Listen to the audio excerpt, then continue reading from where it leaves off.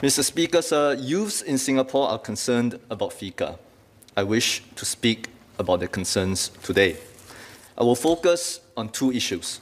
One, the apparently sweeping scope of powers provided in, the, in this bill, and two, the desire for transparency in the government's administration of these powers. Zooming straight into Clause 5 of the bill, there are concerns that this clause defines activities or conduct on behalf of a foreign principal too broadly to include those, I quote, in collaboration with a foreign individual or entity. Youths are understandably worried if their everyday interactions with foreign friends will run afoul of this bill, and more precisely, whether any activity or conduct critical of the government or government policies and with any shade of foreign involvement will be hit by FICA. If one reads the proposed legislation with its plain meanings, one can quite naturally come to these conclusions and concerns. But at the same time, a foreign principal with malicious intent to interfere with our affairs can very well exploit or may already be exploiting the cover of seemingly innocuous day to day activities and conduct to achieve its insidious objectives. That is the whole point of artful interference and manipulation to operate undercover.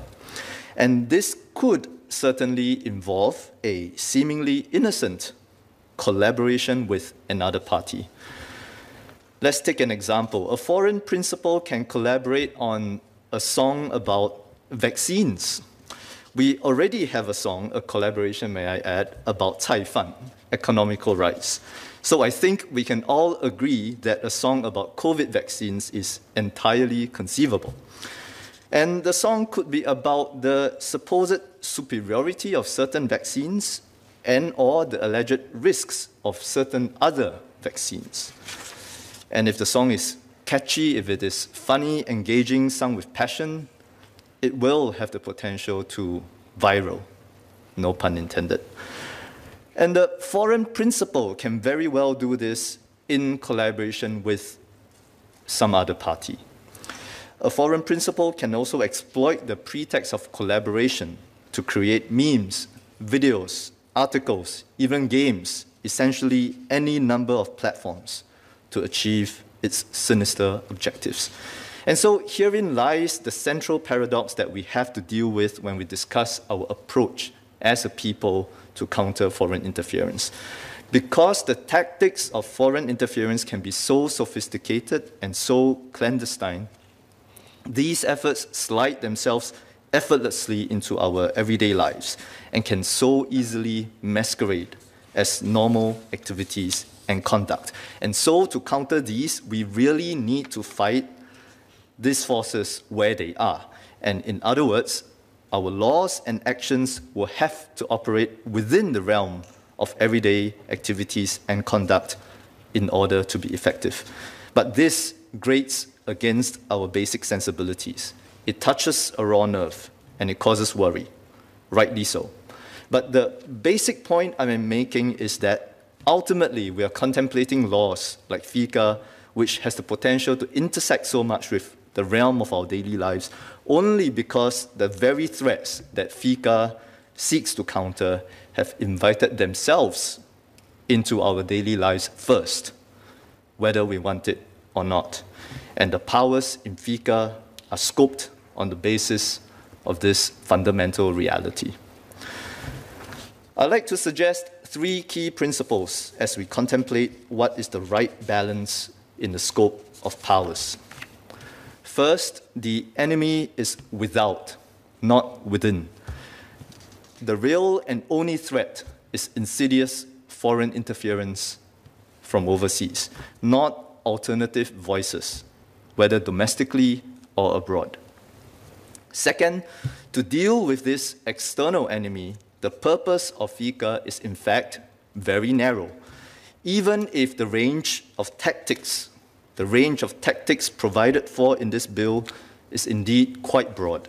So there is a whole toolkit of directions and directives and countermeasures, but all these tactical modalities are ultimately to serve a very narrow purpose that FICA is intended for. Third, the principles of FICA are neither unique nor novel. In other words, Singapore is neither the only nor the first country moving such laws. Australia, for example, has the Foreign Influence Transparency Scheme, FITS, since 2019. Their definition of activities on behalf of a foreign principal is similarly broad. An applicable arrangement with a foreign principal under FITS could be, I quote, formal or informal, written or verbal. It could be a contract, understanding, or agreement of any kind. End quote. As illustration, if a company, if company A and a foreign government make plans to import Australian foods into the foreign country, and company A lobbies the Australian government on export regulations, company A will be deemed to be acting on behalf of the foreign government, even if it is also acting for itself. And one can also certainly say that company A in this illustration is working in collaboration with, in its plain meaning, the foreign government. And so Australia has defined these objectives, these activities quite broadly. And the principles behind FICA are really no different. I will also note that none of the amendments that the Workers' Party has moved actually touches on Clause 5, on what constitutes activities or conduct on behalf of a foreign principal. So I am glad to see that the Workers' Party agree on the definitions in Clause 5 of the bill. Having said all these, how can we assure Singaporeans nonetheless and keep their confidence in the government's judicious administration of FICA. I have three suggestions. First, and most fundamentally, we should recognize that the ultimate check and balance on government on governmental powers is not in more and more legislative guardrails, but rather in the democratic vote in our own hands. We should recognize that any government, today or future, as executive of this and other laws of the land will be held accountable to the, to the people and by the people in Singapore. And in turn, we, the people, should have a key interest to choose suitable persons who will exercise these powers, any legislative power, discretionary power under the laws, judiciously and wisely. Notwithstanding this, secondly, I think transparency and timely disclosure by the government to the public in its executive actions under FICA will go a long way towards modulating the government's administration of the law and keep trust with the public. And in this light, I agree with the spirit of the amendments to clauses 78, 79, 81, 84, and 85 moved by Mr. Leon Pereira. I agree with the spirit of Mr. Pereira's proposed amendments. I'm heartened to hear the minister reiterate his ministry's commitment made to the media last week that any designation of politically significant persons and any stepped up countermeasures for these persons and any transparency directive to publish on political matters with foreign links and any Part 3 direction against harmful online, foreign online communications except for technical assistance directions, will be made public.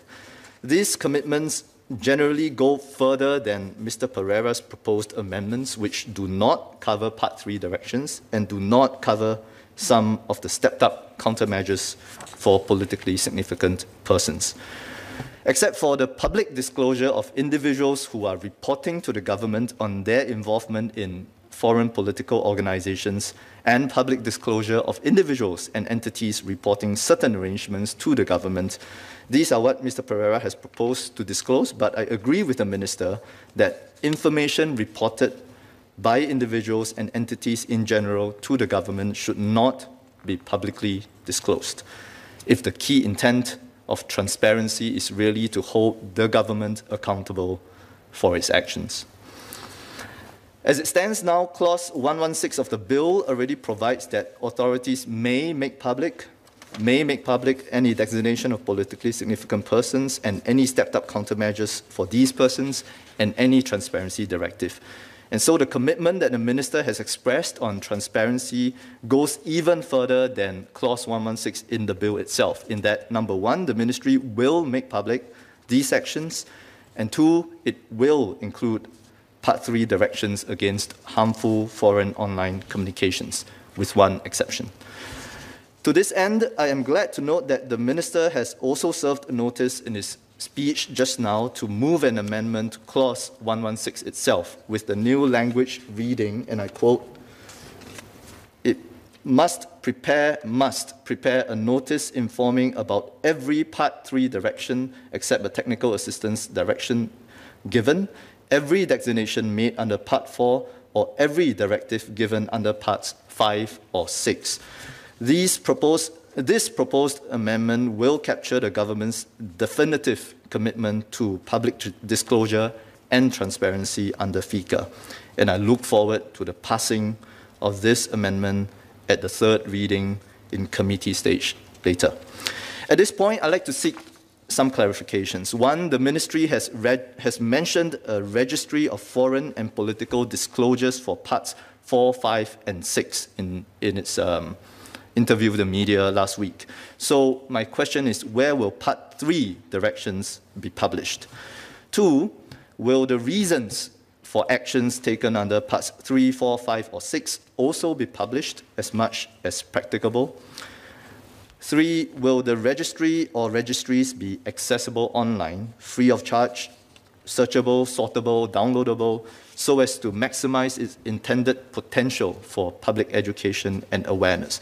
And four, will appeals made and decided under FICA be similarly published? So, my third suggestion to better assure Singaporeans and keep their confidence in FICA is that the government needs to constantly communicate the law's intended purpose and the government's commitment to this intent. This is difficult to do as the concerns that Singaporeans may have towards the bill can be very visceral, as I noted at the start of my speech. And so, to this end, can the minister give definitive assurance in this House, once again, that the youth climate activists working with regional or international friends to advance their joint vision for climate justice has nothing to worry about as regards FICA? and can indeed look forward to continuing and growing his or her work. Can the minister assure that the Singaporean youth working overseas and writing, posting from overseas about his or her racialized experience with previous job searchers or employers in Singapore will not be deemed a vector of a hostile information campaign and thus slapped with some Part 3 direction under FICA? Can the minister assure that indeed students lecturers, academics in our schools and institutes of higher learning here, interacting with foreign students, discussing, exchanging views on any number of political issues, will not find themselves subject to designation as politically significant persons. Can the minister assure that patriots, well meaning Singaporeans who want to lend their own voices to civic discourse here, no matter how critical of the government and government policies, will not be caught by FICA simply on account of any actual or suspected interaction with a foreigner. So let me conclude. The Select Committee on Online Falsehoods heard evidence in 2018 on a troll farm cottage industry in Macedonia. Macedonia teenagers worked in these farms and subverted the US presidential elections in 2016 they might very well have zero actual interest in US politics, and it is unclear if they were taking directions from other foreign state players, but it was clear that they did this to earn money through advertisements. And one teenager reportedly earned 16,000 US dollars, more than 40 times the average monthly salary in Macedonia. And there were even dedicated classes to train young Macedonians in this trade two points to note here. One, the content created by this troll farm were not all fake news or falsehoods per se. So not everything can be caught by POFMA. Second point, and equally fundamental, is that the Select Committee report came out in 2018. We are debating FICA today, three years later. Indeed, it would be fair to ask, what actually took us so long? Mr. Speaker, the threat of foreign interference is real and urgent, and the broad powers provided by this bill are necessary. But Singaporeans, including youths, are concerned and I implore the government to double down on transparency commitments, as well as efforts to constantly communicate on the narrow intent of FICA, so as to assure Singaporeans while ensuring that the government has the wherewithal to effectively protect us against a common threat. And ultimately, each, each government will be held to account by Singaporeans through the exercise of our individual democratic rights. To end, I'd like to touch on Mr. Gerald Giam's proposed amendments to Clause 8 on what is defined as being, quote, directed towards a political end in Singapore. Mr. Giam has proposed to remove limbs F and G of the definition in the bill, namely F on public opinion about a matter of public controversy in Singapore and G on political debate. Now, I've listened to the Minister explain the philosophy behind Clause 8 and Mr. Giam's argument for the proposed omissions. Sir, Clause 8 sets out the entire political landscape, the entire surface area that foreign threat vectors can and will operate on to subvert our affairs. I therefore like to ask Mr. Giam if he would not agree that the real effect of his proposed omissions will not so much scope the powers of the executive to limit the potential for overreach and abuse of power, but rather the real effect will be to curtail the real powers that the executive needs to counter the real and highly complex threats that FICA is exactly designed to counter. And would Mr. Giam not agree that his proposed omissions defang FICA and strip it of its basic effectiveness to fight foreign interference. It is a bit like saying, let's fight with one arm tied behind our backs, or maybe more, because we are worried about the power of having two arms. Sir, lastly, I would also point out that the definition of what is directed towards a political end in Singapore in Clause 8 of FICA is already found in existing laws, such as the Public Order Act amended in 2017. In that debate in 2017, the Workers' Party had expressed no concern about the very same definition. So it is not clear to me why the Workers' Party would have a concern now about the same definition four years on. Thank you.